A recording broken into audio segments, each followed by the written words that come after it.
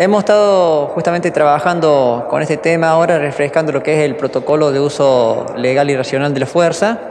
con oficiales superiores y jefes de esta departamental, asimismo con superiores y jefes de la departamental Marco Juárez y gente de la patrulla rural también,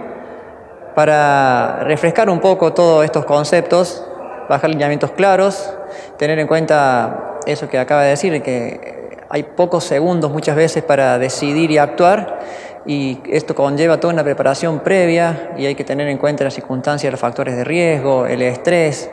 las cuestiones de adrenalina, eh, la mesura en el accionar, teniendo en cuenta el paradigma de proximidad también que se ha implementado con eso de,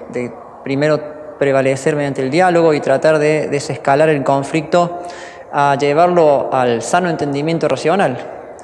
Y bueno, de eso deriva que un montón de situaciones eh, hay que trabajarlas desde la base para que el personal esté capacitado y a la altura para llegado el momento evaluar las circunstancias y tratar de proceder conforme a lo que estamos estableciendo ahora. Se están dando de forma paralela tanto en departamentales sur completo como en el norte provincial. Eh, se va a estar recorriendo la provincia prácticamente el mes entero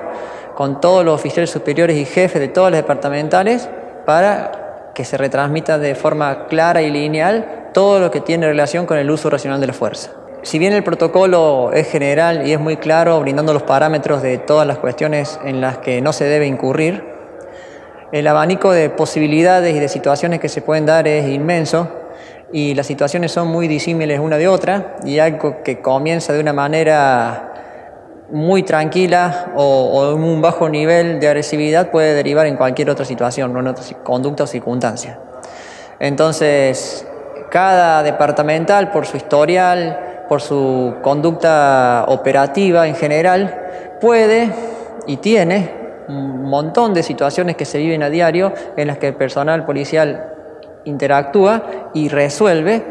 Y bueno, esas situaciones específicas son las que se plantean para ver cómo se alinean a los parámetros generales que establece el protocolo.